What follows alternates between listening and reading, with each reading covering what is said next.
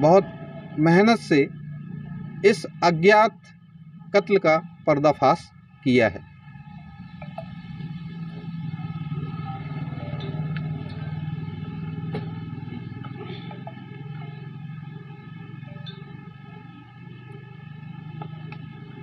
ठीक।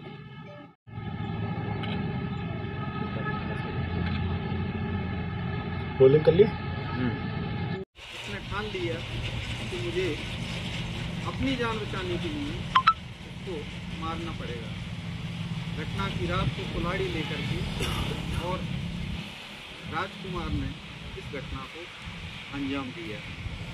उसके द्वारा पूरी घटना स्वीकार कर ली गई है। आरोपी को हत्या के जुर्म में गिरफ़्तार किया गया, जिसे माननीय न्यायालय के समक्ष आज पेश किया जा रहा है।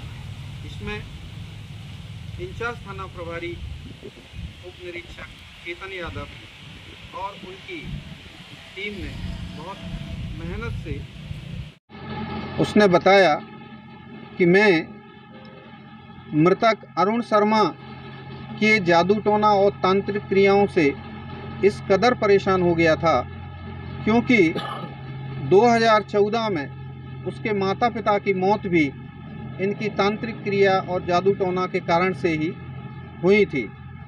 और ये भी उसने बताया कि मेरे को भी ये अल्टीमेटम था कि मैं भी पंद्रह दिन में इनकी तांत्रिक क्रियाओं से मर जाऊँगा।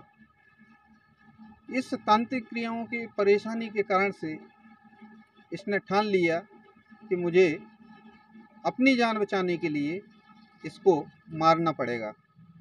घटना की रात को कुल्हाड़ी लेकर के और राजकुमार ने इस घटना को अंजाम दिया। उसके द्वारा पूरी घटना स्वीकार कर ली गई है।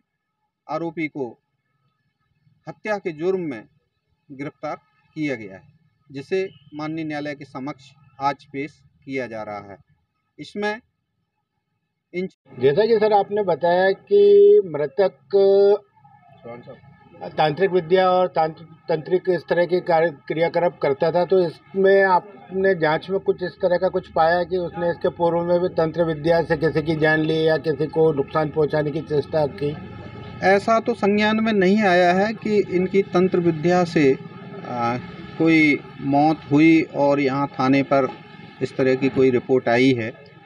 ऐसा तो अभी तक रिकॉर्ड में नहीं है लेकिन गाँव से ये जानकारी प्राप्त हुई है कि छोटी छोटी जो समस्याएँ गाँव में आती हैं और इन पर जादू टोना या तंत्र विद्याओं पर लोग भरोसा करके उससे जो है इसका निराकरण करवाते हैं, इन लोगों के पास जाते हैं, जिससे कोई समस्या हो, उसका समाधान हो सके। तो इस तरह की आम शहरत तो है कि अरुण शर्मा इस तरह के कृत्य किया करते थे।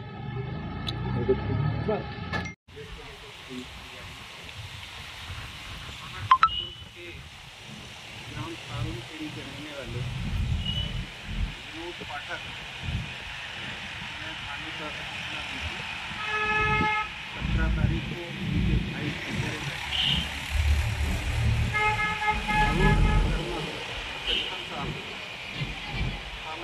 बाहर बने खेत पे घर के बाहर सो रहे थे एक अज्ञात व्यक्ति ने आकर उनके ऊपर कुल्हाड़ी से जानलेवा हमला किया जिससे उन्हें सिर में कान के पास, चेहरे पर और हाथ पर गंभीर चोटें आई थी, जिन्हें इलाज के लिए देवास और इंदौर ले जाया गया, जहाँ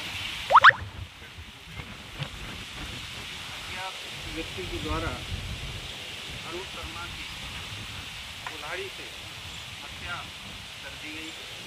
इस पर से अज्ञात आरोपी के विरुद्ध थाना टोंकपुर पर हत्या का प्रकरण दर्ज किया गया पुलिस अधीक्षक महोदय का निर्देश प्राप्त हुआ टीम लगाकर केस की